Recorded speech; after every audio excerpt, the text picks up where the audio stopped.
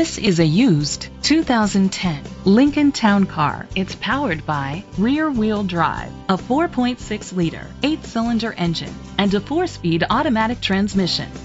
The features include electric trunk, leather seats, heated seats, steering wheel controls, memory seats, aluminum rims, auto dimming mirrors, dual temperature controls, automatic climate control, and adjustable tilt steering wheel.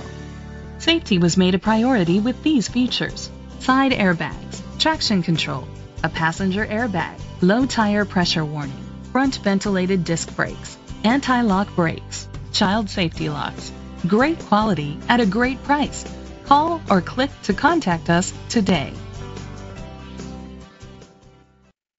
Gjovik Ford is dedicated to doing everything possible to ensure that the experience you have selecting your next vehicle is a pleasant one. We are located at 2600 East Route 34, Sandwich, Illinois 60548.